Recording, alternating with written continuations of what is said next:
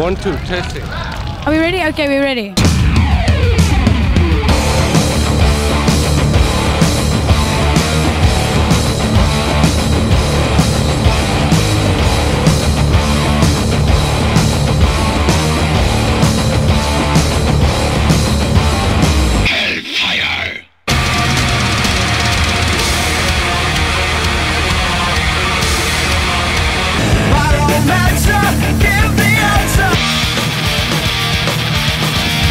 I still haven't had enough.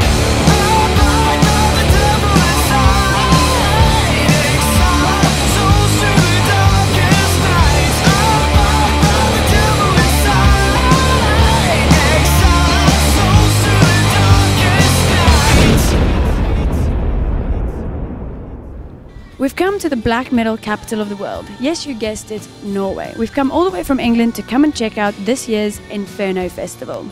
I myself have never experienced the Inferno Festival before, so this could get interesting. Behind me is the Rockefeller, where all the fun is going to start tonight.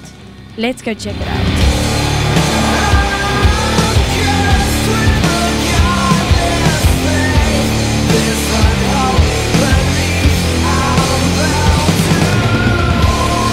It's Wednesday night and we're here at the Inferno Festival in Norway and we're at the Indie Recordings launch night where we're listening to the new Keep of Kalessin album as well as some new Red Harvest tracks. Just now we're going to go downstairs to go watch Audrey Horne and Keep of Kalessin play live. This is getting crazy.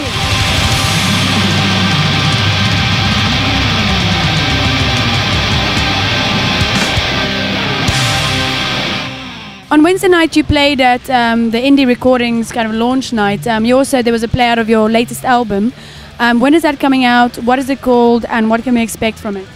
Uh, the album is called Colossus and it will be out on uh, June 6th in uh, Europe.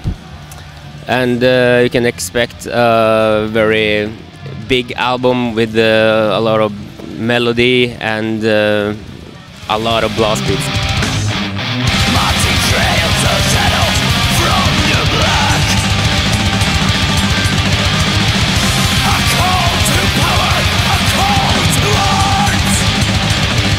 I you're going to record a video for one of the songs for your new album, or Yeah, uh, it will be the song called Ascendant. It's gonna be directed by uh, Patrick, who did uh, some of the Dimmu Borgir videos. So uh, you can expect a very big and epic uh, looking video. Um, and uh, the concept, I haven't seen any of the of the the concept of it yet, but we talked about it and I sent him the lyrics and stuff. So I think the concept will be something about what the song is about, which is actually uh, uh, the path to enlightenment, and uh, and there is this whole story of the Colossus album, and this last song is where this uh, character actually um, brings down the gods and uh, becomes a god himself. So it's gonna be big, epic stuff like that.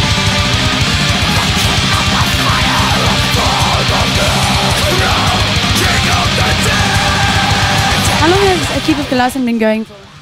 Actually, the band has been going for uh, I think it's almost 13 years now. But uh, things went uh, really slow in the beginning. There has been a lot of uh, obstacles along the way and um, uh, a lot of lineup changes, stuff like that. But uh, with the 2006 album Armada, everything started to change a bit. So and now we have a steady lineup, lineup and can um, start focusing a bit more on just getting those albums out there. There's not. Uh, there is information on on the internet about Keep of Kalessin, but there's not a lot of like information about like these obstacles and lineup changes and stuff like that. Um, will you be putting more information up there for people to read, or Uh, well, uh, we try to answer in the interviews as much as we can, uh, but we actually talked about that uh, earlier on. Um, we uh, have started thinking about doing a DVD maybe after this album or after the next one. Uh, and we started thinking about doing a whole video biography where we actually film stuff where things have happened in Trondheim and stuff like that. Could be a lot more ins interesting to see it in a video format instead of just reading the same old biography as you normally do. So okay? And um, how's the metal scene over there? Is there, is there a lot of bands that come from there? There are uh, many great bands, and uh, I'm also uh, trying to help a lot of those bands to reach out to a broader audience down uh, Europe. Uh, we have um, uh, our own label up there. We have our own studio called Morningstar Studio, and also Morningstar Records. And um, yeah, you have some of the best metal bands from Norway. I think like Bloodthorn and Chthon, which are great death metal bands and you have the more um, hardcore thrash metal band Manifest, and uh, yeah, there are a lot of great bands up there. So um, I think you will hear a lot more from Trondheim in the years to come.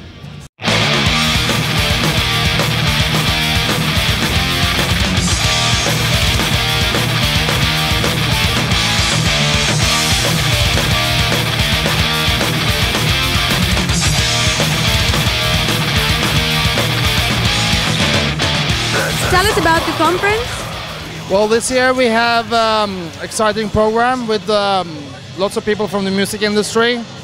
Uh, we have a panel with uh, Tom Gabriel Fischer from Celtic Frost, Gaahl from Gorgoroth, and Maniac from Skitliv, ex Mayhem, discussing um, what might be the future for extreme music. And you also have the, the, the tour on Sunday on Saturday, is that right? Yeah, that's right. We have a tour. We we take everybody on a bus ride.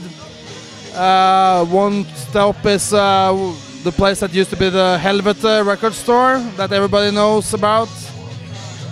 And then we go to a uh, Viking cave with a big Viking ship, and we will have a um, Norwegian folk uh, music singer having a seminar about Norse culture and Norwegian um, pagan history and we will have a Viking ride in uh, Viking costumes with Mjød and uh, lots of things happening in there and uh, that's the end of the conference part.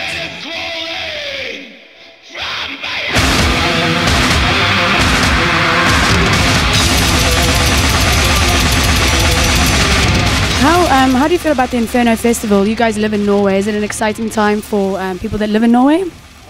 Obviously it is, uh, at least for those that have an interest in uh, in the metal community or are part of it. The amount of uh, national and foreign press here, uh, people from the record industry and uh, from magazines and national newspapers and all that, and you know it it has really just lifted off. Uh, and I wonder where they are going from here. You know, they have started to do black metal sightseeings, and it all feels absurd and uh, uh, and a bit out there, but uh, still the festival itself remains concentrated um, on the feel of music. I think that uh, the conference that they have started now is uh, a new aspect to it, which also broaden the aspect of the whole festival. That now the press and uh, the labels, everybody can meet up and everybody gets a reason to, to go to this festival, which of course uh, add to the audience and everything. So uh, uh, I see that as a positive uh, effect of the festival.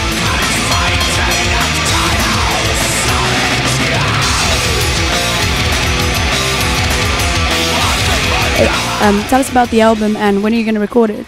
Um, we have been we have been working on on material and, and it works well.